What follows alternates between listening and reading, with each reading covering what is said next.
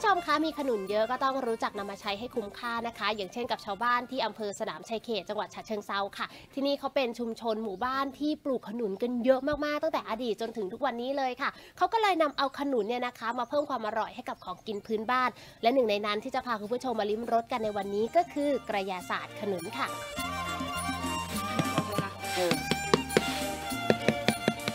ฟังเสียงง่าย ๆ หากมีเสียงป๊อกๆ แบบแน่น ๆ นั่นหมายความว่าขนุนยังไม่สุกมากนัก หมอนำมาแปรรูปเป็นขนุนกรอบ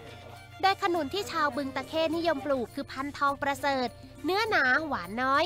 ด้วยคุณสมบัตินี้ชาวบ้านจึงคิดค้นสูตรกระยาศาสตร์ขนุน ใช้เนื้อขนุนแผ่นข้าวตอก เริ่มจากหั่นขนุนเป็นชิ้นบางๆ ทอดแล้วอบจนกรอบ ตั้งไฟเคี่ยวน้ำเชื่อมกะทิสด น้ำตาลปี๊บ เติมนมแพะที่เลี้ยงเองในชุมชนเพิ่มความหอม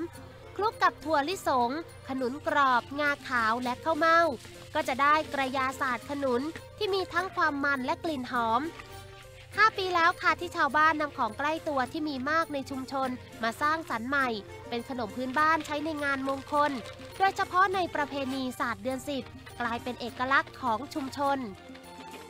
15 ค่ำเดือน10เนาะเขาจะ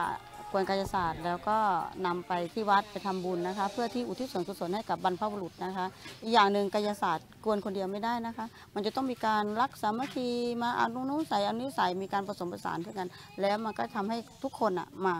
มาสามัคคีกันทำผลที่เราเอาไปทำทอดแทนแทนข้าวตอกข้าวตอกอะมันจะเหนียว แต่ขนุนจะกรอบ ตอนที่เอาทุกอย่างมารวมกัน แล้วมันก็แบบคนนะคะคลุกให้เข้ากันนั่นยากสุดค่ะ ถ้ามันใช่ แล้วแบบว่ากลัวมันแบบไม่ไม่ยังไงอะไม่แบบไม่เข้ากันใช่กลัวไม่เข้ากัน ถ้าไม่เข้ากันแบบเผื่อแบบตรงไหนงา มันเยอะไปตรงไหนจะไม่ใช่ค่ะ มันกรอบค่ะ แล้วมันก็หวานด้วยแล้วก็มันมันๆออกมันมันๆวิถีพื้นบ้านของคนบึงตะเข้ผูกพันกับขนุนมาตั้งแต่บรรพบุรุษค่ะ นอกจากเป็นไม้มงคลคู่บ้านยังใช้ประโยชน์ได้หลากหลาย ตั้งแต่ใบจนถึงเมล็ด แม้แต่ยางขนุนชาวบ้านยังนำมาใช้เป็นกาวดักแมลง ขณะที่กระยาศาสตร์ขนุนวันนี้ยังเป็นของหวานขึ้นชื่อ ที่เผยแพร่ออกไปต่างถิ่น จะเอาสิ่งที่เรามีอยู่เนี่ยไปผสมผสานกับองค์ความรู้นะคะ เรื่องของขนมไทยขนมไทยโบราณเนี่ยนะคะ เพราะว่าปัจจุบันเนี่ยขนมไทยโบราณต่างๆ อย่างเด็ก ๆเขาก็จะไม่ค่อยกินกันใช่ไหมคะแต่เราจะทำยังไงให้ขนมไทยโบราณกับคนสิ่งที่เรามีอยู่เนี่ยทำให้เด็กๆสนใจและหันกลับมากินขนมทุกวันนี้กระยาศาสตร์ขนุนทำกันมากขึ้นในชุมชน เด็กๆหลายคนจากที่เคยเป็นลูกมือทำขนม เริ่มเป็นกำลังหลักกวนกระยาศาสตร์ได้แล้ว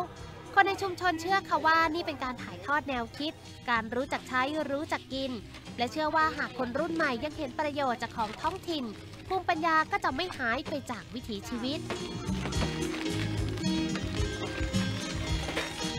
ขนุนไม่ว่าส่วนไหนก็ใช้ประโยชน์ได้นะคะ นี่ก็เป็นภูมิปัญญาท้องถิ่นที่ถ่ายทอดกันมาสู่รุ่นเด็ก ๆ แบบนี้ค่ะ นอกจากพวกเขาเนี่ยจะได้ฝึกเรียนรู้แล้วก็ทำเป็นอาชีพแล้ว หัวใจสำคัญคือการได้เห็นประโยชน์จากสิ่งของรอบตัวที่มีอยู่ รวมถึงช่วยการอนุรักษ์ของกินพื้นบ้านแบบนี้ด้วยค่ะ อิมอนรถวันนี้ลาคุณผู้ชมไปก่อนสวัสดีค่ะ